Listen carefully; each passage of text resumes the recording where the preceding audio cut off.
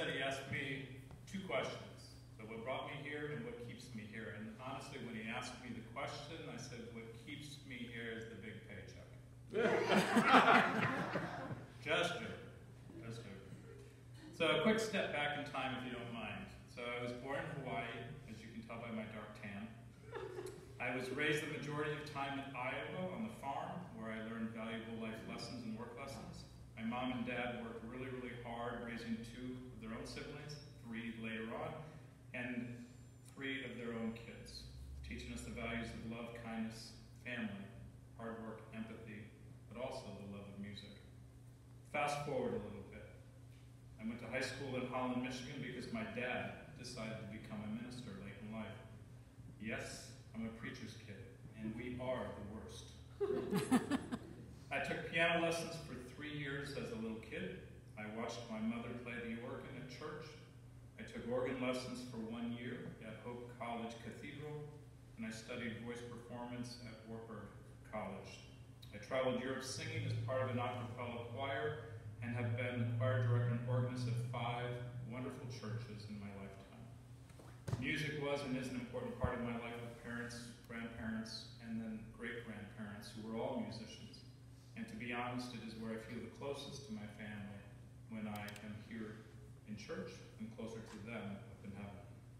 I credit my love of music to my parents, but mostly my mom, my best friend and mentor. She saw in me a passion for music and a desire to be a storyteller, creating those emotional experiences. Alzheimer's took my mom's life at 59 years old, an incredibly sad and horrible disease that took everything she loved so dearly away from her.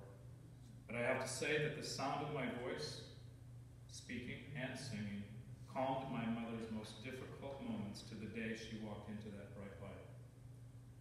Isn't that what it's all about? What we all do, creating those memories, those moments, those gratitude moments that will forever be with those that we share them with.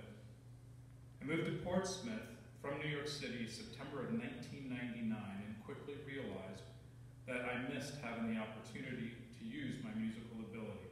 So I wrote seven letters to local churches here in Portsmouth, telling them a little bit about me, just like I just did with you, and that I was new to the area and I was willing to substitute if they ever had a need. I received zero, zero responses from any of the churches here in Portsmouth. I thought to myself, well, that outreach committee is working really hard. they didn't even want my money in the offering plate, let alone my musical ability. Two years went by, and I received a letter from a man who sat right over, ooh, right over there. Fred Petter. And he kept my original letter. And he asked if I'd consider coming and talking with a group of people here at the church. Who would have thought that he would have kept that letter two years? I said, absolutely. I was interviewed by a small group of people, Pastor Richards and his wife Phoebe. She was a hard one. Fred and some others who then asked me to play the organ. I also played the piano and I sang a song. I sang the song Friends, as you've heard me sing. I finished and Pastor Richards said, You're going to be our full time organist. And I said, um, I humbly said, I can't do that due to my travel schedule. And he said, Nope, you're going to be the full time we will figure out the rest.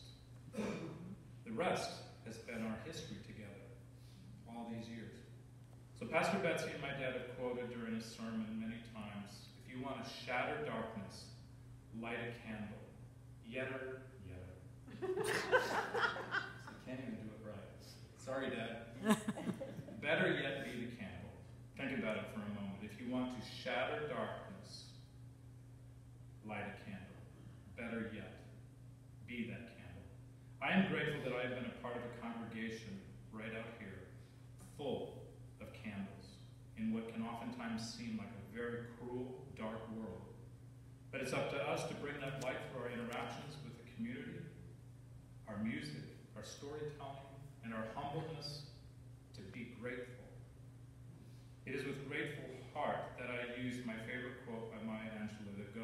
I've learned that people will forget what you said, people will forget what you did, but they will never forget how you made them feel.